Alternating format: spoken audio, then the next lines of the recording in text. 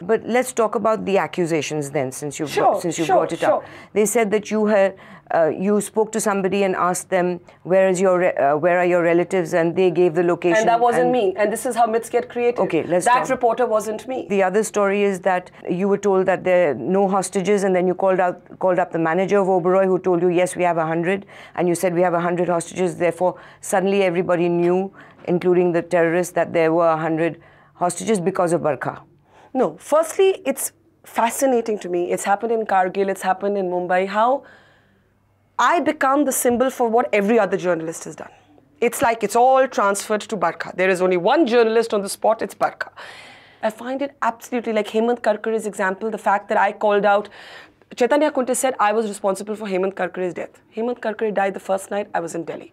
The Chambers conversation that you report didn't happen with me, happened with another set of television reporters whom I'm actually not going to name. I know who they were, but I'm not going to And name the. Oberoi story. And the Oberoi story, I do remember. I do remember having said at some point, not the exact number, but when there was confusion over the fact that the hotel had been cleared, I did say no, we still have reason to believe that there are people who are trapped as hostages inside. That I did say. I don't believe I was the only one who said it. I think journalists across the board did refer to the fact that people were trapped inside.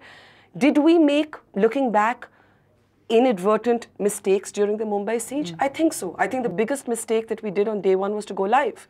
The second day, not because of a government diktat which came three days later, we on our own started transmitting with a 15 minute delay. We didn't know at that time that there were handlers monitoring um, the terrorists who were inside. We got to know this after the siege was over. They also said that you're hysterical, you know, upset, sweaty, screaming. Hysterical is style. You want to hate me, hate me. Hysterical a style. It's not an ethical question. I mean, I often watch uh, things of myself and I say, could I have done it better? Yeah, sure, I could have done it better. Sometimes. Sometimes I like how I've done it. Let's take Kargil first because I do want to say something about it. Kargil, this mythology of did she switch a camera light on? Did she ask for the Bofors gun to be fired? Did she use uh, the same sat phones that, by the way, everybody in the army used and therefore positions were given? Crap.